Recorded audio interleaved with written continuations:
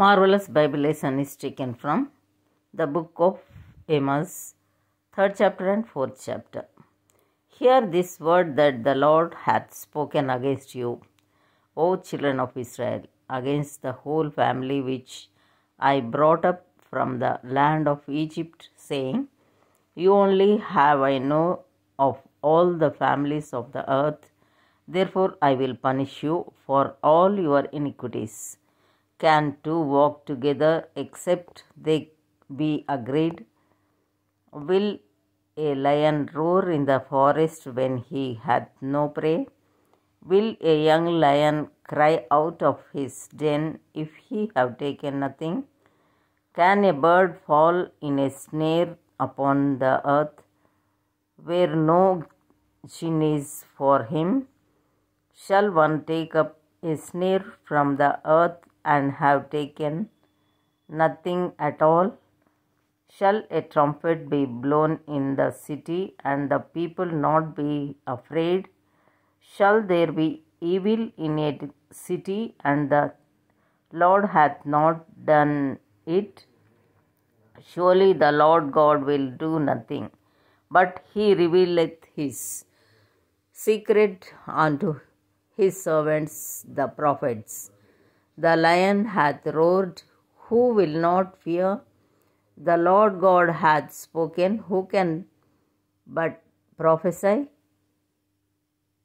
Publish in the palaces at Ashdod and in the palaces in the land of Egypt, and say, Assemble yourselves upon the mountains of Samaria and behold the great tumult tumults in the midst thereof and the oppressed in the midst thereof.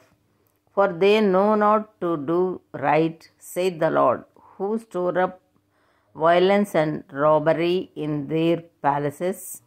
Therefore thus saith the lord god an adversary sh- there shall be even round about the land and the and he shall bring down thy strength from thee, and thy palaces shall be spoiled. Thus saith the Lord, as the shepherd taketh out of the mouth of the lion two legs or a piece of an ear, so shall the children of Israel be taken out that dwell in Samaria in the corner of a bed and in Damascus in a coach.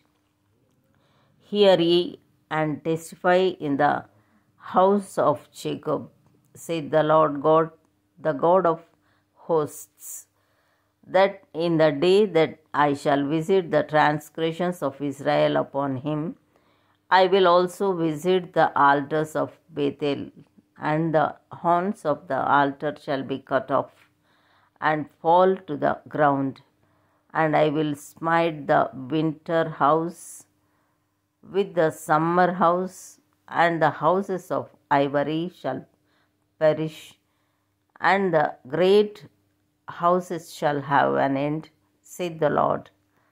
Fourth chapter. Hear this word, ye kind of Bashan, that are in the mountain of Samaria, which oppress the poor which crush the needy, which say to their masters, Bring and let us drink. The Lord God hath sworn by his holiness that lo, the days shall come upon you, that he will take you away with hooks and your posterity with fish hooks, and ye shall go out at the breaches every cow at their cow at that which is before her, and ye shall cast them into the palace, saith the Lord. Come to Bethel and transgress at Gilgal, multiply transgression and bring your sacrifices every morning and your tithes after three years and offer a sacrifice of thanksgiving with leaven, and proclaim and publish the free offerings, for this liketh you, O ye children of Israel, saith the Lord God. And I also have given you cleanness of teeth in all your cities, and want to want of bread in in all your places. Yet have ye not returned unto me, saith the Lord.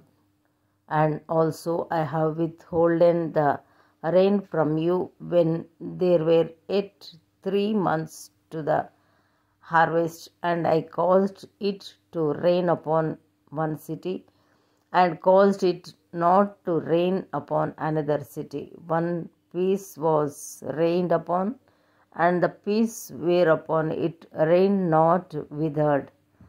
So two or three cities wandered unto the unto one city to drink water, but they were not satisfied. It have ye not returned unto me, saith the Lord.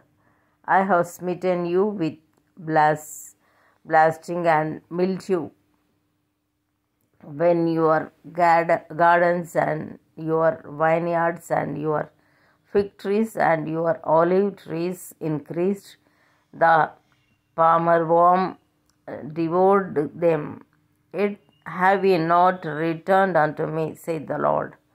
I have sent among you the pestilence after the manner of Egypt.